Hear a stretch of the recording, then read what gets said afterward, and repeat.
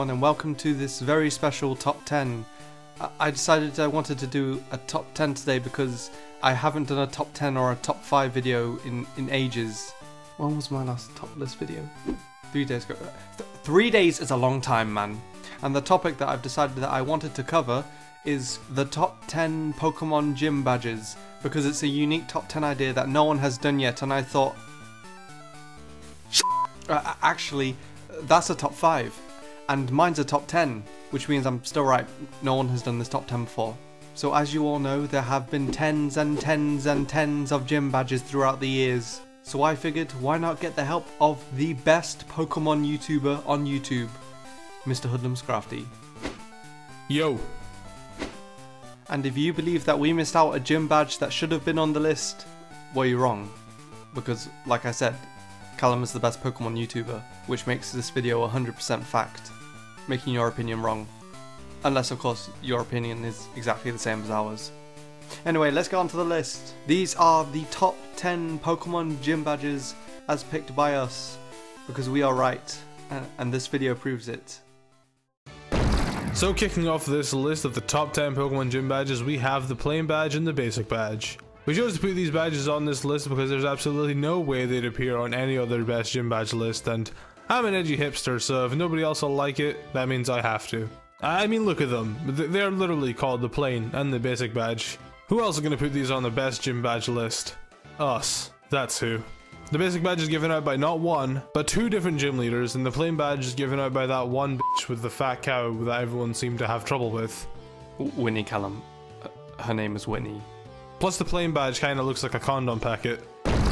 So at number 9 we have the Mineral Badge and the Iceberg Badge. These badges are on the list for being completely unoriginal and they're basically rip-offs of the Boulder Badge and the Glacier Badge.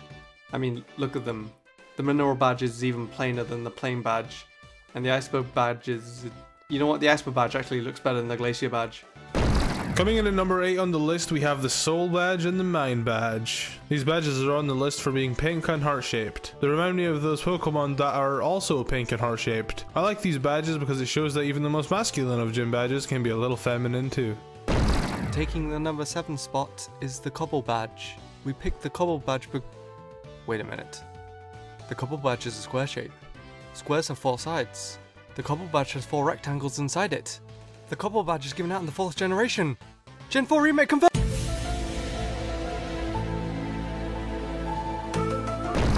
Coming in at number 6 spot, we have the Balance Badge and the Wave Badge. We decided to put these two badges in the same spot because if you put these badges together, they make Squidward's face. What? What, did you think I was gonna say something else?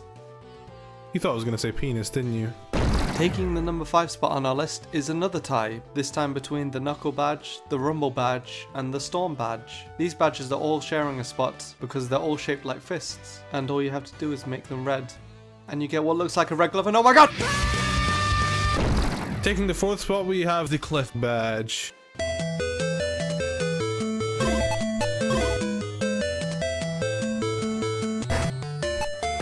Taking the number 3 spot on our list, we have this badge, this badge, this badge, and this badge. We really like these badges because even though we have no idea what they're called, or where they're from, or why they're in the anime, we think they look cool. And some of them just look kind of silly. Seriously, some of these designs are kind of stupid. Like, look at these, look at these, what are they? They look like sweets, they look like candy. And, and Gary's badges, like, what, what are they? Like some of these aren't even official badges. Like where the f is the Thunder badge, the Soul badge, and the Marsh badge? Like what are these? Where did you get them, Gary? Where the f? Taking the runner-up spot of our top 10 Pokemon gym badges, we have the Crest of Courage, or as it was known at the time, the Courage Badge. Now for those of you that didn't know, the gym badges we got in Generation 1 weren't the original designs that we got for the badges. At first they all looked like this, but at last minute they were scrapped for not being good enough, which is why they were put in Digimon instead. But our favourite of them all is the Courage Badge, mainly because it's shaped like a sun, and one of the next Pokemon games is called Pokemon Sun. And finally, our pick for the number one Pokemon gym badge is the f you badge. Because f you, that's why. So that was our list for the top 10 gym badges in Pokemon. as picked by us. Now, this is usually the part where I say leave your favourite gym badges in the comments. But let's be serious, no one cares. I'd like to thank my co host for joining me today. Thanks for having me, man.